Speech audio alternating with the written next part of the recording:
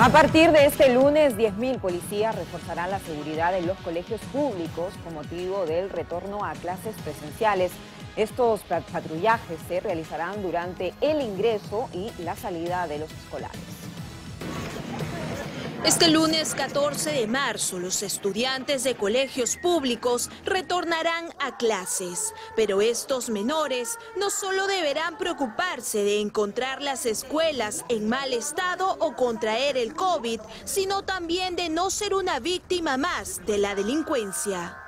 Es por esta razón que la policía desplegará a más de 30 mil efectivos en los más de 54 mil colegios públicos a nivel nacional para evitar que los estudiantes se conviertan en el nuevo blanco de las bandas criminales. Despliegue nuestro, a nivel Lima, vamos a estar con más de 10 mil efectivos.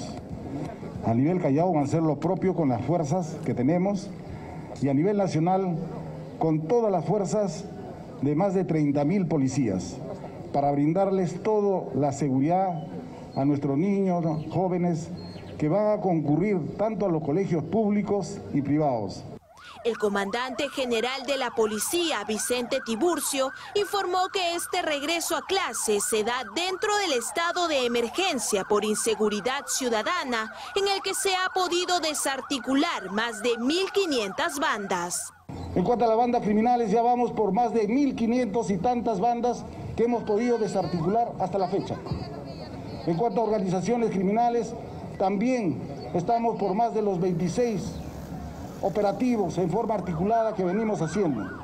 En cuanto a los registoriados y más buscados, porque es un paquete, más de 10.000 registoriados.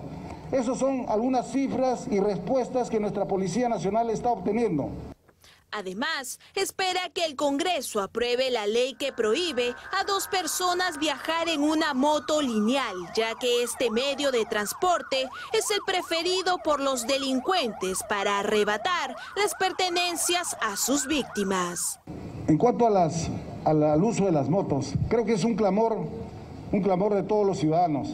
Es por ello, a nivel del Ejecutivo, se hizo lo propio se presentó ese proyecto a nivel legislativo, están en sus debates, algún momento decidirán y si nosotros tenemos una herramienta más para hacer frente a la lucha contra la delincuencia, eh, lo complementaremos, mejor dicho, se hará su reglamentación. En este plan escolar seguro 2022 también participará el Grupo Terna, la Dirección de Tránsito y la División Antidrogas.